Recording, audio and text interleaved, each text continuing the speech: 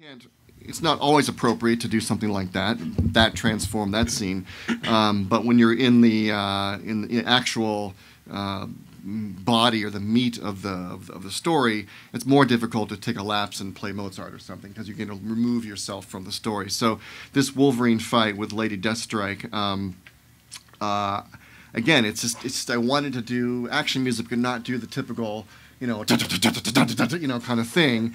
And so uh, I tried to use some weird bending trombones and stuff, and um, and integrate um, very subtly um, where I had the time or the moments uh, the Wolverine theme, which then became well, it's a long story how.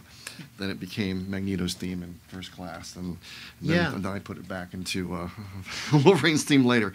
But um, it's just dee da da da da dee. That that's the sort of um, Wolverine's theme. So And how about the percussion? Would you say anything about uh, the, their sounds? can't, oh yeah, I used like whale drums and stuff. Kind of just I just I wanted to be like crazy, you know. So Yeah. and then we had um, you know a hanging piano that we would slam and stuff like that. Like Yeah. you hang uh, you know uh, the, the what do you call it? the door of the piano? Okay. The, lid, you know, and this this, this hit the out of it, you know. I didn't know about and um, yeah, um, and I can't remember other stuff that we used. I you know, remember just- uh, uh, high pitched, kind of like what we're looking at, the knives and the. things. Yeah. which Oh, oh yes, yes. I use Yeah. these um, finger cymbals to kind of make it metallic, you know. Right. Yeah.